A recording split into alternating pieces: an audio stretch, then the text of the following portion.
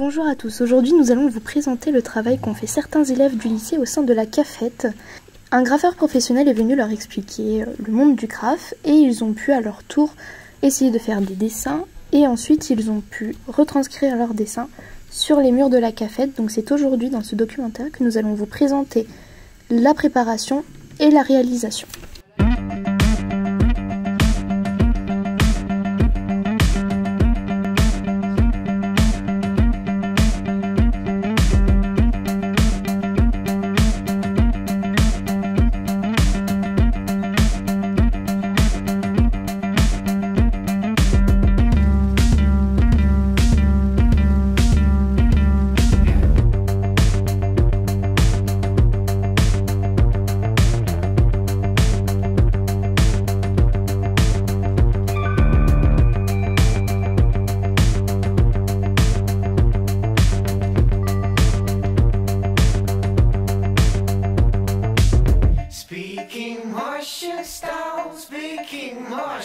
Yeah.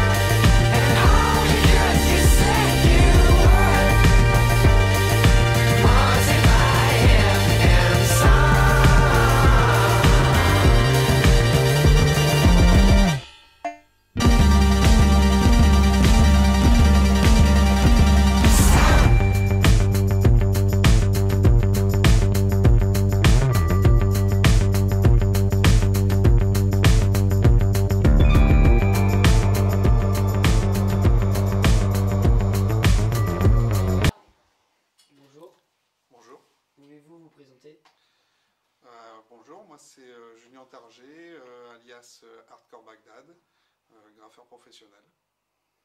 Pouvez-vous... quel est votre parcours scolaire et professionnel? Mon parcours scolaire, il est assez limité. J'ai été jusqu'en troisième et voilà, j'ai arrêté l'école ensuite.